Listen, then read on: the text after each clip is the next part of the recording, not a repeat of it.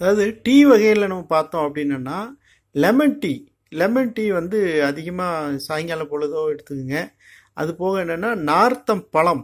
நார்த்தம் பழத்தில் இதேமாதிரி லெமன் மாதிரியே நார்த்தம் பழத்துலேருந்து அந்த ஜூஸ் எடுத்து அந்த டீ வந்து நீங்கள் போட்டு குடிச்சு பாருங்கள் அது வந்து உடம்போடைய ஹீட்டை வந்து கம்ப்ளீட்டாக குறைச்சிரும்.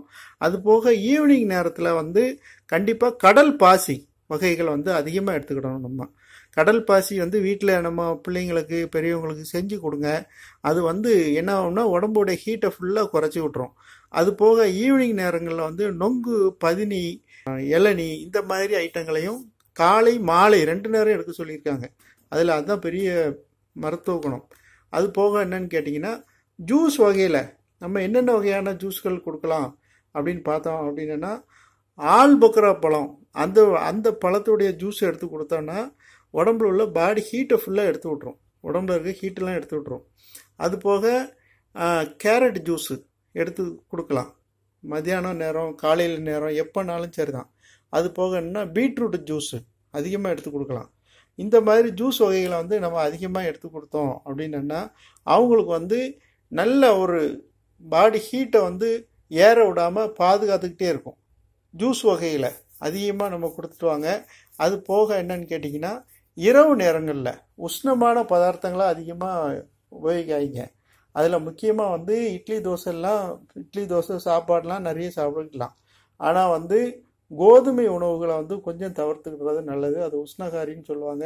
அது போக என்னன்னு கேட்டிங்கன்னா இரவு நேரங்களில் பால் வெண்ணெய் நெய் இந்த மாதிரி உள்ள ஐட்டங்கள் கொஞ்சம் கொஞ்சம் எடுத்துக்கிடும் அதாவது வந்து மூளைச்சூடு இந்த வெயில்னால மூளைச்சூடு ஏற்பட்டுடுச்சு அப்படின்னா கண்டிப்பாக பாலில் நல்ல நல்ல காய்ச்சி எடுத்துகிட்டு லேஸ் ஹீட் இருக்கும்போது கொஞ்ச காலம் வெண்ணெய் எடுத்து போட்டீங்க வெண்ணெய் போட்டு கலந்து குடிச்சிட்டிங்க அப்படின்னா கண்டிப்பாக வந்து அந்த வெயிலுடைய தாக்கத்தில் இருக்கக்கூடிய அந்த மூளைச்சூடை சரி பண்ணி விட்டுரும். அந்த மாதிரி பயன்படுத்திட்டு வாங்க அது போக என்னன்னு கேட்டிங்கன்னா உட நம்ம மேலுக்கு போடக்கூடிய உடைகள் வந்து காட்டன் உடை உடைகளை வந்து நம்ம அதிகமாக பயன்படுத்தணும்.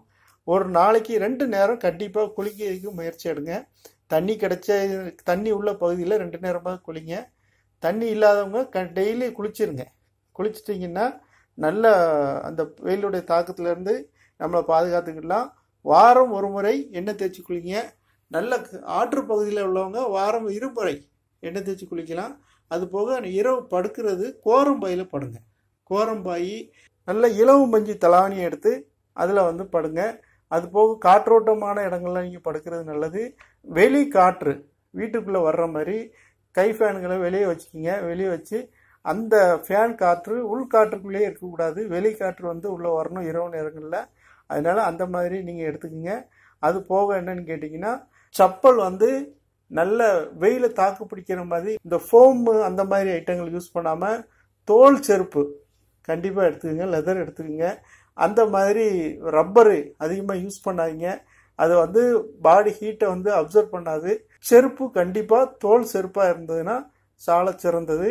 அது போக என்னென்னா ரொம்ப தூரம் போகிறா இருந்ததுன்னா தண்ணி கண்டிப்பாக வச்சுக்கிங்க. இப்போ வந்து தண்ணி தட்டுப்பாடு வரக்கூடிய காலங்கள்லாம் வரப்போகுது. அதனால் அந்த மாதிரி சூழ்நிலைகளில் நீர் சத்துக்களை உடம்புல கொடுத்துக்கிட்டே வாங்க. அது ஒன்றுமே செய்யாது. அந்த நீர் சத்துக்கள் குறையும் போது தான் பல வகையான இன்னலை கொடுக்கும். அதனால் கொஞ்சம் கவனமாக இருந்து இந்த வெயில் காலத்தை நம்ம கழிக்கணும். அதுக்கு நல்ல முயற்சிகள் எடுங்க. பக்கத்தில் உள்ளவங்கள்ட்டையும் இதை விஷயமாக சொல்லிக் கொடுங்க. நன்றி வணக்கம்.